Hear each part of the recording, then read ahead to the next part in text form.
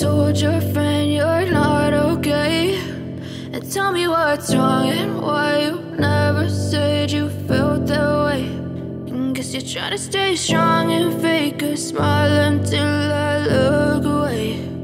But I've known you too long, it hurts to watch your blue eyes fade to gray as you fade away.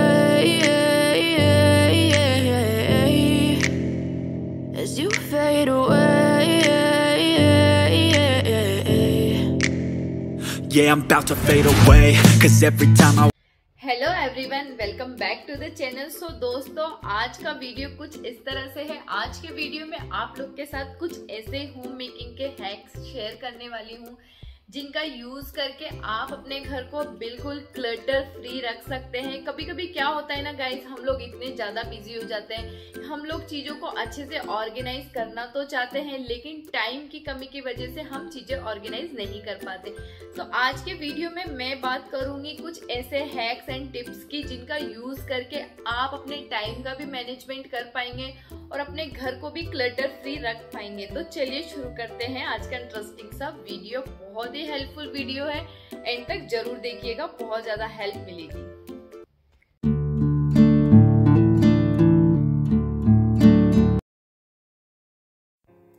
So so, दोस्तों मैं आपको बता देती हूँ कि घर में अगर सबसे ज़्यादा क्लटर लगता है तो वो लगता है कपड़ों का।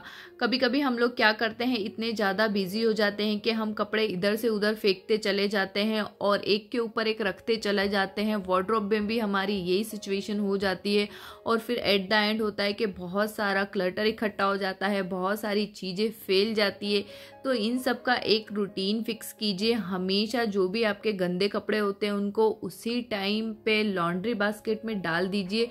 तो आपका ये एक सेकंड का काम है और आपका बहुत टाइम यहाँ पे सेव हो सकता है और बहुत सारा क्लटर आप यहाँ पे बचा सकते हो। फिर उसके बाद जब भी आपको टाइम मिले थोड़े थोड़े कपड़ों को फोल्ड कर दीजिए और फोल्ड करने के बाद आप उसे एक जगह पे रख दीजिए और उसके बाद जब भी आपको बीच में कोई एक से दो मिनट टाइम निकाल के आप उन्हें वार्ड्रोब में रख दीजिए तो बस आपका ये कपड़ों का काम ख़त्म हो जाएगा और आपके कपड़े बिल्कुल जगह पे मिलेंगे और एकदम तय होके मिलेंगे और बिल्कुल भी क्लटर घर में नहीं रहेगा तो आप इन सारी चीज़ों पे ध्यान देना शुरू कर दीजिए, अगर अब तक नहीं देते।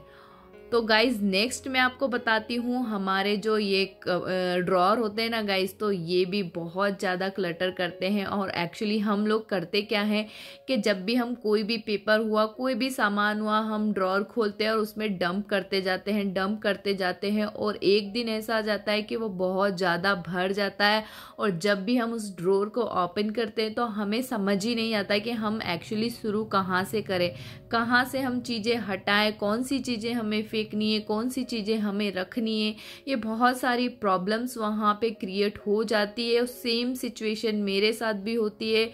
चाहे मैं हूँ या मेरे घर वाले हों, कोई भी हो, चीज़ें यहाँ पे डंप करते जाते डंप करते जाते और एट द एट सिचुएशन आती है जो आपको दिख रही है।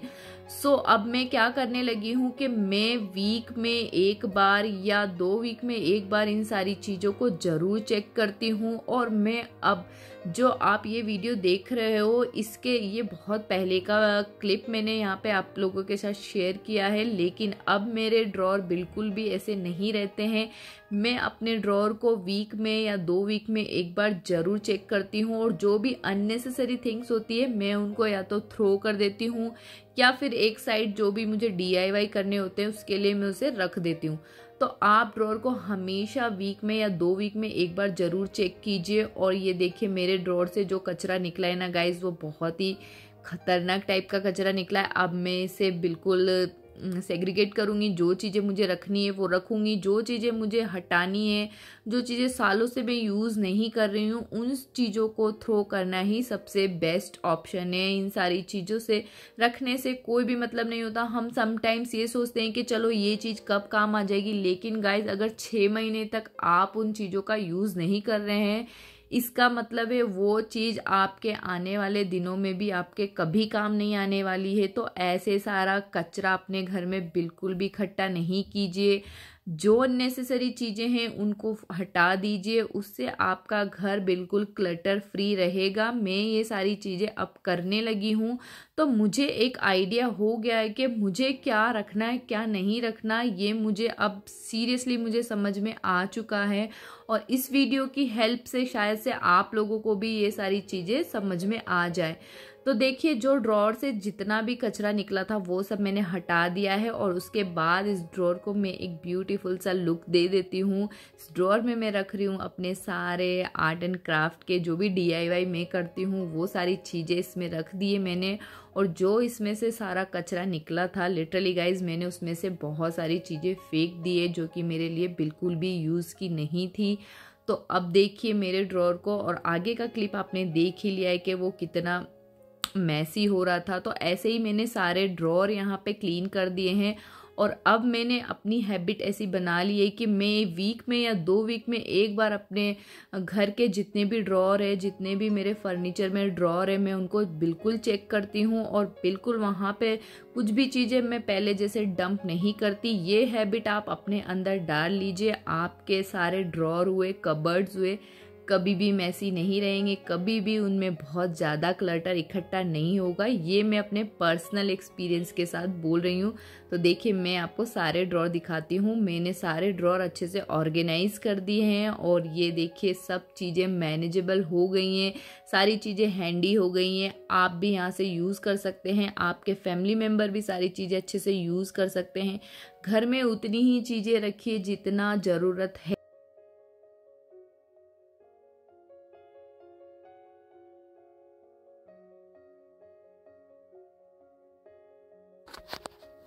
तो दोस्तों, देखिए कितना कुछ इन ड्रॉर में से निकला था। तो मैंने सारी चीज़ें सेग्रीगेट कर लिए। जो चीज़ें मुझे काम की लगी थी, वो डेफिनेटली मैं रखने वाली हूँ और जो चीज़ें बिल्कुल मेरे यूज़ की नहीं है, वो चीज़ें मैंने हटा दिए। तो नेक्स्ट क्लटर हमारे घर में करती हैं ये वेजिटेबल्स जब हम बाहर से आते हैं और सब्ज़ियाँ खरीद के लाते हैं तो समटाइम्स हम बहुत ज़्यादा टायर्ड हो जाते हैं और हमें लगता है कि यार, मुझे अभी ये काम नहीं करना है और एट द एंड होता क्या है हम सब्जियों को वहीं छोड़ देते हैं। तो मेरे साथ भी ये चीज़ें होती है, लेकिन इसका मैं आपको एक बहुत ही बेहतरीन सा तरीका बताती हूँ।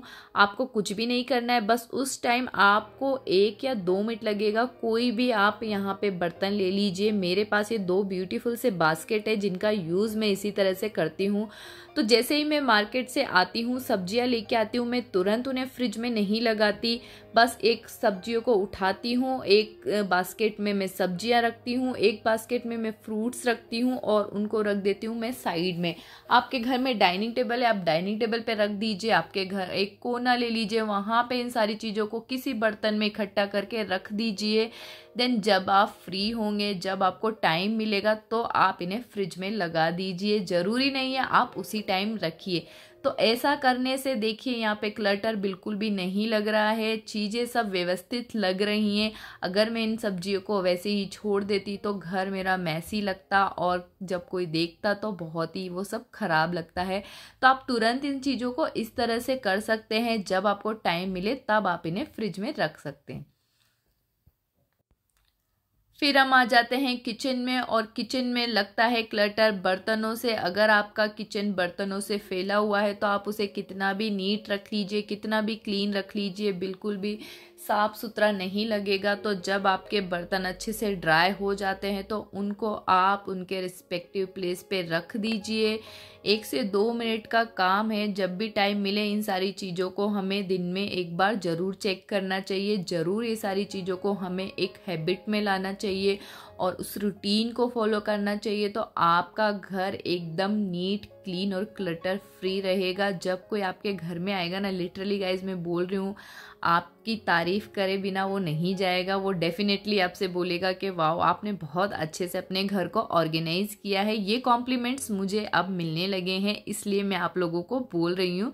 तो इन सारी चीज़ों पे ज़रूर ध्यान दीजिए और आपका घर एकदम क्लीन रहेगा ऑर्गेनाइज्ड रहेगा और आपके काम इतने इजी हो जाएँगे, आप अपने कामों को बिल्कुल चुटकियों में कर लेंगे, बहुत सारा टाइम यहाँ पे सेव कर लेंगे और जो ये टाइम बचेगा ना वो आप टाइम अपने बच्चे को दीजिए अपने फैमिली को दीजिए और उस टाइम में आप बहुत सारी चीज़ें भी कर सकते हैं क्योंकि हमें फुल टाइम यही सब काम नहीं करना है। इसलिए इन सारी चीज़ों का एक रूटीन होना so बहुत ज़्यादा ज़रूरी है। All for today hope you enjoy this video if you like this video please like share and subscribe this channel तो मिलती हूँ नेक्स्ट वीडियो में ऐसे अमेजिंग से वीडियो के साथ। तब तक के लिए बाय लव यू ऑल